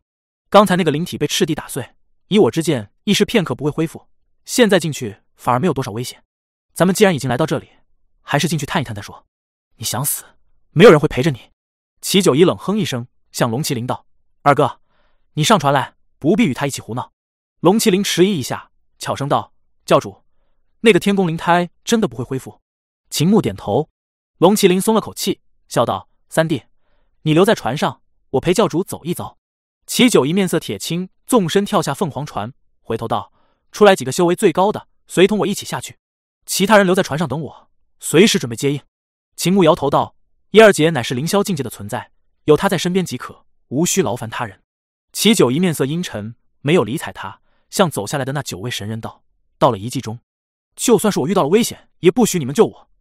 你们只管保护我二哥，无论如何都不能让他有损，明白吗？”那九位神人称是，赞道：“少主义薄云天。”齐九一咬牙，心道：“我哪里是义薄云天？我是担心二哥死了，我也得陪葬。”秦牧哈哈笑道：“齐兄高义，既然如此，我们下去。”叶儿落在他的肩头，其他人跟在他的身后。那九位神人则分散在龙麒麟左右，严加提防。秦牧从天而降，还未落地，便再度打开地理图，对照一番。地理图上标记的位置，在这片大陆的中心偏右的位置。他们离这个标记处已经不远，不要飞过去。齐九一飞速来到他的身边，冷冷道：“这里不知道是否还有其他凶险，脚踏实地，要比在空中当成靶子好一些，更方便躲避和发力。”秦牧赞道：“齐兄经验丰富。”齐九一哼了一声，淡然道：“我师从赤帝、黑帝，自然是经验丰富，不像你只是个野路子。到了遗迹中，你一切听我的。”秦牧哈哈大笑，落在下方的遗迹中的一座极为古老的建筑上。齐九一紧随其后，跟着他下，谨慎的四下里张望，紧张万分。突然，嫣儿在他口中塞了一颗灵丹。齐九一正要吐出来，不过入口味道却也不错，于是就吃了下去。嫣儿又打算喂他，齐九一连忙道：“嫣儿姐，我不吃这个。”嫣儿笑道：“你师傅齐虾鱼我也喂过他，小时候他可喜欢我喂他了，总是叽叽喳喳的跟在我屁股后面叫姐姐。你喂过家师？”齐九一脸色一黑，心道：“那么我应该叫她嫣儿姐还是大姨？”秦牧打量四周，突然从这栋宏伟建筑上一跃而下，落在地面上。齐九一连忙止住龙麒麟：“二哥，先不要下去，等姓秦的没死，我们再下去。好了，咱们下去。”秦牧闭上眼睛，试图入梦，随即他又张开眼睛，露出惊讶之色。他无法催动无量结晶化作梦中世界。他原本打算让梦中无数个自己来探索这个世界，免得遇到危险。然而，血秀地带中有一股无形的力量，恰恰可以打断无量结晶，让梦中世界无法成型。刚才他在试图入梦时，突然有极为洪亮的祭祀声涌来，涌入他的脑海中。祭祀声蕴藏力量，形成可怕的干扰，无量结晶根本无法化作梦中世界。那么，在血秀地带是否能催动神通？秦牧尝试着施展一下神通，神通依旧有威力，他不由陷入沉思。只是他催动神通时，仍然有祭祀之力干扰他的思维意识。大梵天王佛的无量结晶是心学，这股祭祀声似乎也是心学。然而入梦时，我能够听到祭祀声，醒来却又听不到。这说明这种祭祀声已经化作了无形的力量。不知道弥漫在血秀地带的祭祀之力与适才出现的天宫是否有关？他向前走去，前方是适才光芒爆发，化作天宫的地方。齐九一跟上他，：“二哥，让性情的走在前面探险，没有危险，咱们再跟过去。”秦牧停下脚步。只见天宫光芒迸发的地方是一个规模宏伟的祭坛，祭坛四周是巨大的尸骨，围绕祭坛里三重外三重，数量极多。祭坛中央是一个漏斗形状的洼地，洼地中有若有若无的光液在凝聚。秦牧来到一具枯骨前，只见这枯骨与人族的骨骼差不多，只是要高大许多倍。枯骨的眉心位置镶嵌着一颗菱形的水晶体，散发出微弱的光芒。他飞身而起，围绕着这具庞大的骨骼检查一番。骨骼上没有符文大道烙印，他们不是神通者。也并非是神奇古神，不过他们的尸骨千万年不化，说明他们天生就很强大。秦牧想起元木之心，元木之心的年轮表明，在史前地母曾经遭遇过十次大难，险些死掉。难道地母的那十次大劫与这些巨人有关？秦牧来到巨人骸骨的眉心处，那块菱形晶体与他差不多高，折射着他的身影。这块晶体肯定有用，值得研究。秦牧动用法力将晶体撬下，突然那具骨骼哗啦碎去，化作飞灰。下面的齐九仪等人吓了一跳，好在这具骨骼只是碎去，并没有触发什么危险。秦牧将菱形晶体塞入自己的饕餮袋中，来到另一具枯骨前。这具枯骨的眉心也镶嵌着一颗菱形晶体。他四下看去，只见所有史前巨人尸骨的眉心都有着一块晶体。难道这些巨人是用这种晶体来当成自己的第三只眼？他们的第三只眼能做什么？第九百一十章史前造物主。秦牧又扣下一块菱形晶体，晶体与他差不多高。他站在晶体后向前看去，看到的世界与平时不同，但那只是菱形晶体折射造成的。晶体当成眼睛看到的世界与肉眼看到的世界有所不同，但晶体应该不仅仅这点作用吧？秦牧摸了摸自己的眉心，他的眉心有一个鼓起的小包。元界浩劫时，他挖掉第三只眼，把第三只眼扔入幽兜，而眉心处的伤口愈合，便一直有一个小小的肉肉的小包。从前我的第三神眼是用来联系幽都，靠这枚眼睛来施展幽都大道神通。史前巨人把晶体镶嵌在眉心，难道也是想施展什么神通？他百思不得其解，随即来到祭坛的中央，向那坛光液看去，光液如流水，在慢慢凝聚。刚才赤地旗下鱼催动凤凰船，将那个奇特天宫打碎，以至于光液耗尽。不过现在光液又在慢慢凝聚。倘若这座祭坛蓄满了那种奇特的光液，多半还会凝聚出一尊天宫守护此地。这种光液又是什么？秦牧小心翼翼捞起一团光液，双眸中神光氤氲，细细查看。不过这种光液中并没有包含什么符文大道，似乎没有什么独特之处。为何这种光液可以形成威力强大的天宫灵体？他小心翼翼催动元气与光液接触，突然那团光液凝聚，化作一个小小的天宫，只有五六寸高，一拳轰来。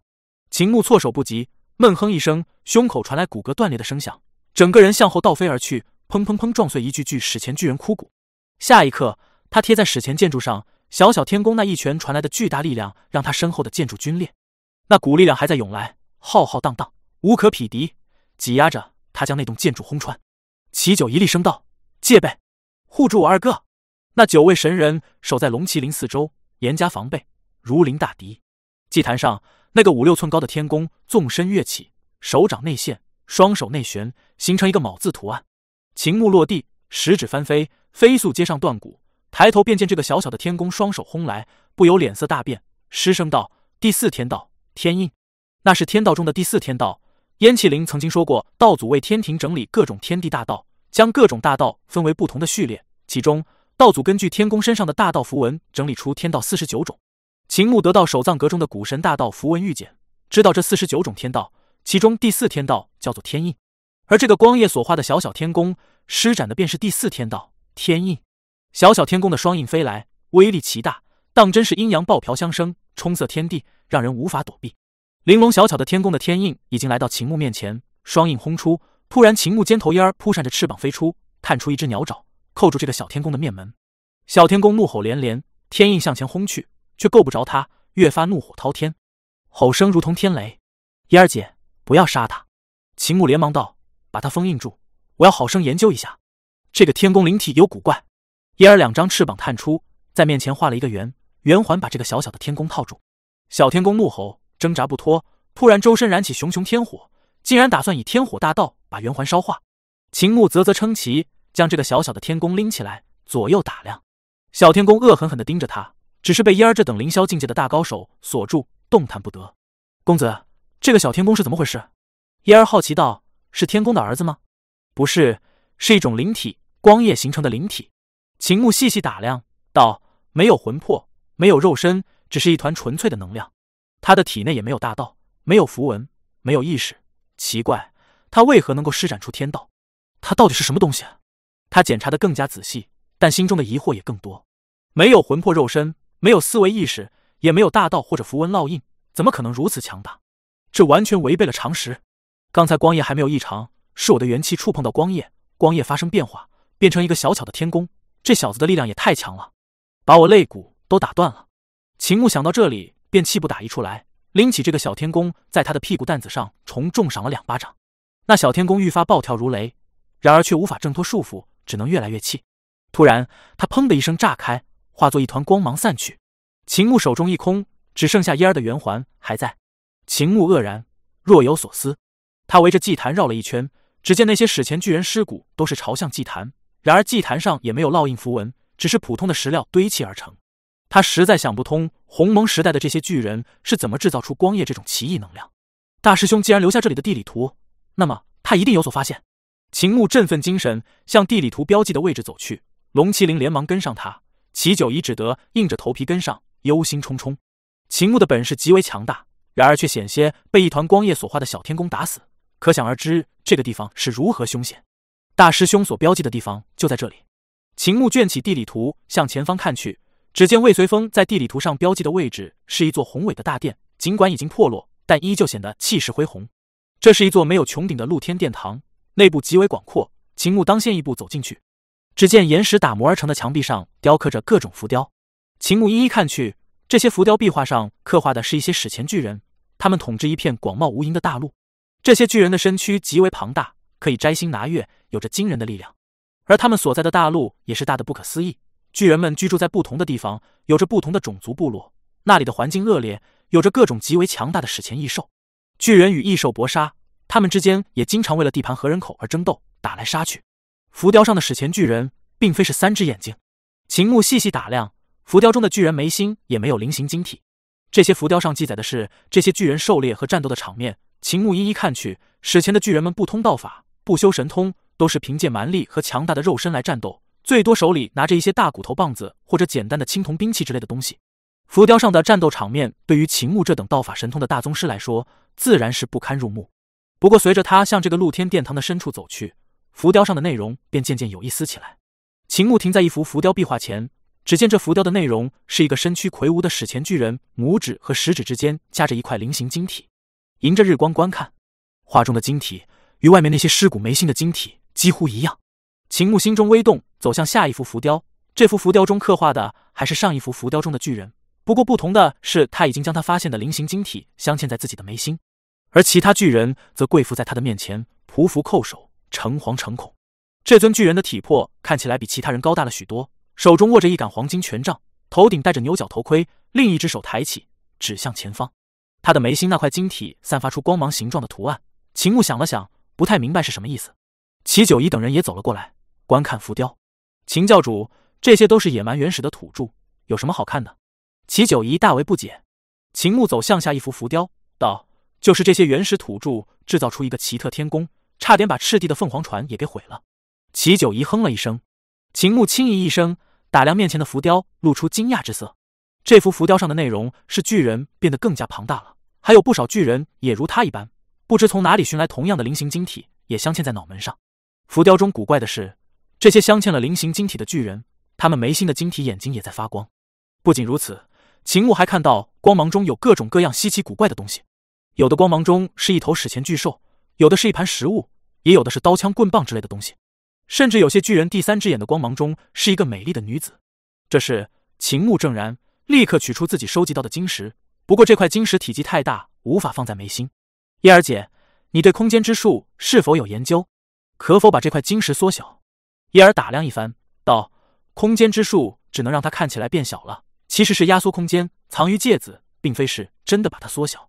你若是想把它镶嵌在你的眉心，万一空间之术失效，便会把你的脑袋撑爆。”秦牧笑道：“我只是想把它放在眉心前，看看是否有什么奇妙的事发生。”叶儿毕竟跟着月天尊修行很多年，没多久便将菱形晶体缩小到一寸长短。秦牧捏起晶体，放在自己的眉心，试着催动元气，晶体没有任何作用。他又不死心，调动气血，晶体还是没有任何异状。他集中精神，晶体还是没有任何变化。这种晶体难道对我们人族来说没用？大师兄要我来到这里，又是何意？他刚刚动这个念头，突然晶体放出光芒，光芒中出现魏随风的身影。秦牧怔了怔，念头断去，光芒中的魏随风消失。难道是？秦牧立刻聚精会神。神识集中，想象天宫的形态。那块晶体再度绽放光芒，光芒中一个小巧的天宫浮现出来。秦牧心头大震，立刻感觉到自己所想的情景在通过这种奇特的晶体变为真实。他的意识散去，光芒中的天宫也立刻消失，并没有保存下来。是因为我的神识不够强大吗？我修炼的乃是不灭神识。秦牧催动不灭神识，这次幻想吐蕃的形态，光芒从晶体中迸发，映照出一个小巧的吐蕃。光芒中的小吐蕃越来越真实，渐渐生出血肉。没多久，一尊巴掌大小的吐蕃便出现在众人面前。秦牧散去不灭神时，那尊小巧的吐蕃落地，张口大吼，口中发出哞哞的牛叫声。众人心中骇然，待听到吐蕃口中竟然传出牛叫，想笑却又不敢笑。他并非是真正的吐蕃，你们尽管笑，不用怕他。秦牧道。齐九一颤声道：“真的可以虚空造物？这怎么可能？凭一块石头就能虚空造物？”难道这些巨人是史前的造物主吗？秦牧把玩晶石，悠悠道：“他们或许是史前造物主，但是他们造物的本领是通过这种晶体来实现的。我刚才试了一下，这种晶体能够将神识放大许多倍。倘若神识足够强横，便可以虚空造物。即便如此，能够利用这种晶体做到虚空造物的人也不多。